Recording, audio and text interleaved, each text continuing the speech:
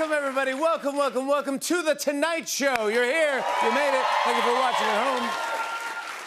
Well, guys, this is great. It is Teacher Appreciation Week. And it is also National Nurses Week. I just want to say uh, whether you're someone's teacher, someone's nurse, or both, thank you for all that you do. Thank you. Well, some news from Washington tonight at the White House. President Biden hosted a Cinco de Mayo celebration. Yep, Biden celebrated Cinco de Mayo on Seis de Mayo. and tomorrow he's holding his Kentucky Derby watch party. It should be fun. Uh, since it was Biden's Cinco de Mayo party, instead of salt on the margarita glass, they used Mrs. Dash. that was nice. Get the same salt. Meanwhile, today here in New York, former President Trump's hush money trial continued, and the judge said Trump violated his gag order for a 10th time and threatened to throw him in jail if necessary.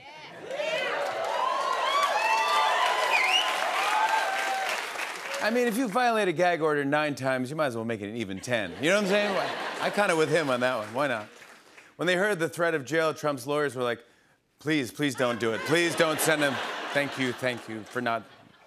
That's right, Trump violated his gag order a 10th time, and the judge threatened to put him in jail. If it happens again, well, I, I think Trump took some inspiration from Kendrick and Drake because he just replied with a diss track. Really? Yes, this is real. Trump wrote a diss track? Yeah, check this out. Oh my God. Donald on the mic. This trial's fake news. I'm falling asleep. You're counting my offenses while I'm counting sheep. I wish this court case was over way sooner. If you want to punish me, lock me up with Don Jr. I'm the greatest rapper, the greatest of all, and I'm gonna get Mexico to pay for the structure on the border.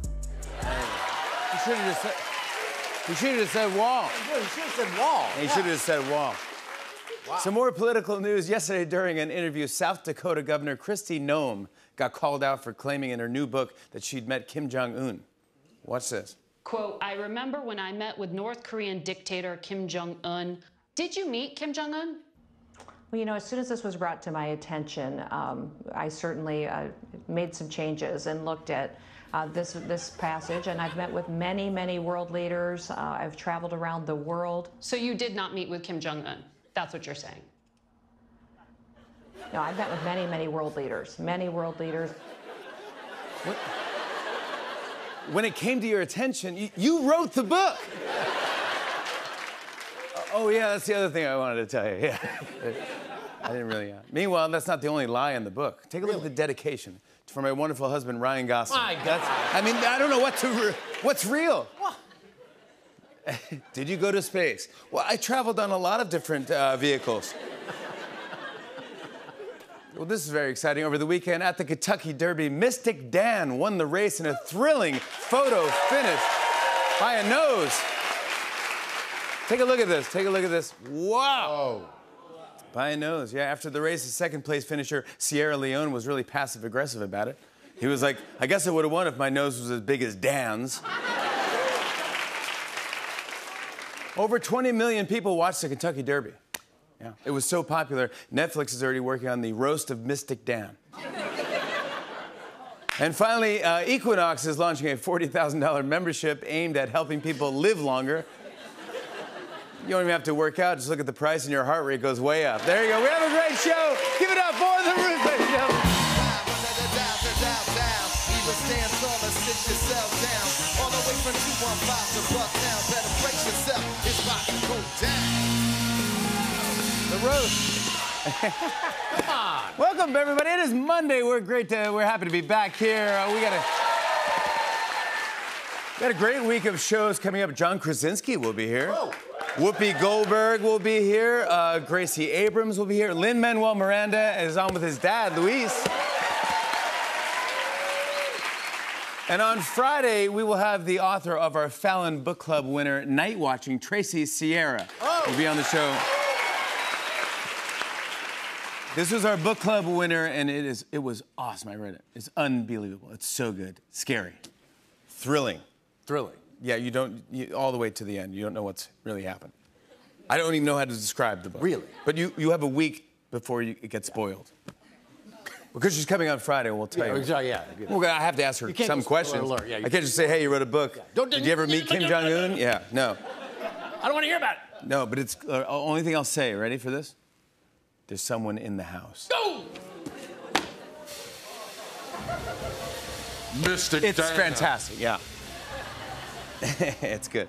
Uh, oh, also, uh, I want to mention because I want everyone to tune in. Uh, NBC next Tuesday night at 9 p.m. It is the Tonight Show 10th anniversary special. 10 years! All the best stuff in the past 10 years. Uh, it is so fun. We're still editing it right now, but uh, going through all the packages of 10 years. There's so many things. It's so good. I, I'm so proud of it. There's lip sync battles, there's, there's tight pants, there's uh, classroom instruments, uh, music, comedy games. There may or may not be an interview with Nicole Kidman. I don't even know. Anyways, next Tuesday, 9, 9 p.m., have a party. Call your friends, call your neighbors. Get everyone ready to go. 10th anniversary. I'm very, very excited about this. But first, what a show we have for you tonight. She is a four time Emmy winner who stars in the new film Wildcat, which is uh, playing exclusively in theaters. Laura Linney is here tonight. She is an Emmy winning actress starring in The Fall Guy, and starting May 24th, you can catch her in the Garfield movie. Hannah Waddingham is joining us. They're both amazing. And we got a great performance tonight from the Broadway cast of Stereophonic. Fun. Uh, Guys, you ever, you ever see a photo in the news and you think that the headline could be much better, you know, way better? I think, like, we'll take care of that right now. It's time for news and improved. Here we go.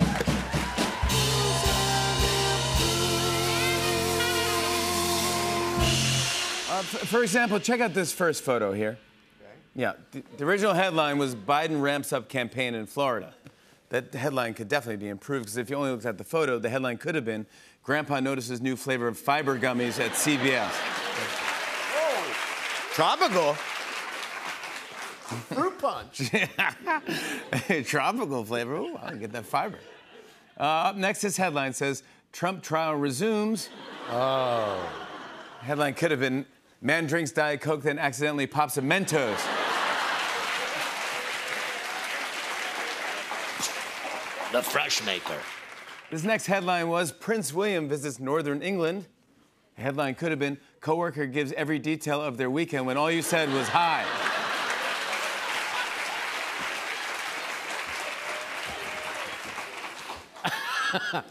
I didn't realize I was allergic to uh, chamomile, but then I tried it.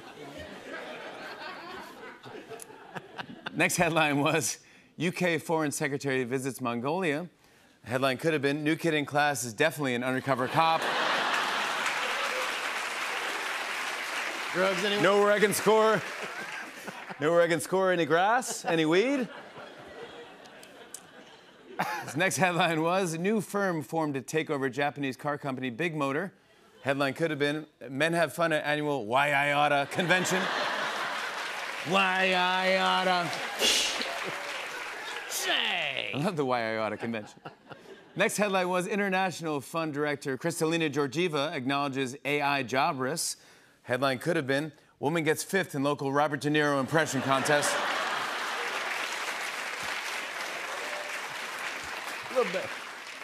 Uh, next headline was UK Prime Minister addresses journalists. Headline could have been I just walked up there and asked, explains man who got second bag of airplane pop chip. They're really nice. You just go up and just ask. That's how I got it. Next headline was Macron hosts president of Serbia. Ooh. Headline could have been World Dart Champ says I'm even better after accident.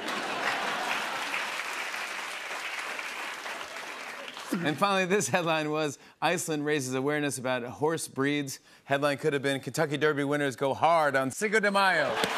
That's all the time we have for news and improve. Stick around. We'll be right back with Battle of the Instant